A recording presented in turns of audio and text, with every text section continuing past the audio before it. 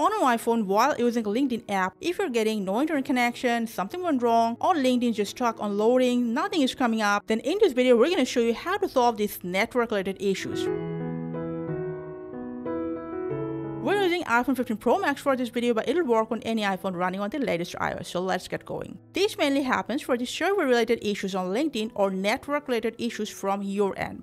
First, what you have to do is just force quit all the apps and windows on your iPhone. Then go ahead and check if you're connected to a fast and stable internet network. Doesn't matter Wi-Fi or cellular. But please make sure not to use both of them at the same time because that will create network-related issues like this. Now, if you're using a LinkedIn from browser like Safari, go to your iPhone settings, scroll down for Safari, enter it, scroll down again, and here just tap on Clear History and Website Data. Select the time and then Clear History. It will refresh Safari on your iPhone. If you're using LinkedIn app, go ahead clear the cache and cookies from settings. Scroll down to general, iPhone storage. Scroll down and look for LinkedIn app, tap on it.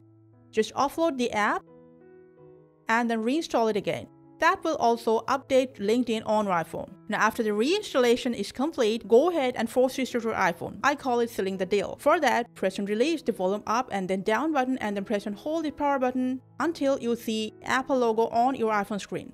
Now after the restart, your network problem on LinkedIn app will be solved.